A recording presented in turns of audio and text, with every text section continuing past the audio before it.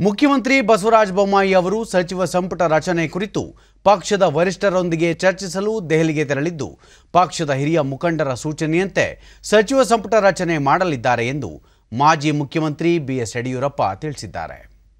ಚಾಮರಾಜನಗರದಲ್ಲಿಂದು ಅವರು, ರಾಜ್ಯದ ಅಭಿವೃದ್ಧಿಗೆ ಬಸವರಾಜ ಬೊಮ್ಮಾಯಿ ನೇತೃತ್ವದ ಸರ್ಕಾರ ಬದ್ಧವಾಗಿದೆ, ಮುಂದಿನ ಚುನಾವಣೆಯಲ್ಲಿ ಪಕ್ಷ ಹೆಚ್ಚಿನ ಸ್ಥಾನ ಗೆಲ್ಲುವ ಭರವಸೆ ಇದೆ ಎಂದು ತಿಳಿಸಿದರು.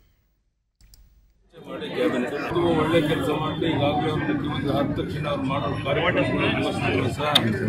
ನಾವು ಬಡವರ ಬಗ್ಗೆ ದಲಿತರ ಬಗ್ಗೆ ಸಾಬೀತು ಮಾಡೋ ಕಡೆಗೆ ಗಮನ ಕೊಡ್ತಾ ಒಳ್ಳೆ ಕೆಲಸ ಮಾಡಿದ್ದಾರೆ ಪಕ್ಷವನ್ನು ಬಲಪಡಿಸೋದಕ್ಕೋಸ್ಕರ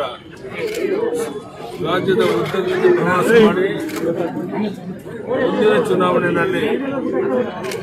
ನೂರ ಮೂವತ್ತು ಮೂವತ್ತೈದು ಸೀಟ್ಗಳನ್ನು ಗೆಲ್ಲೇಬೇಕು ಅಂತ ಭರವಸೆ.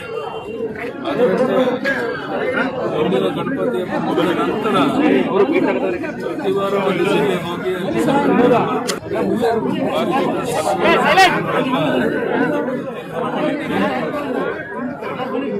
ಅಧಿಕಾರ ಇಲ್ಲದೇ ಇದ್ರೆ ಜನ ಯಾವ ರೀತಿ ಸಂಘಟನೆ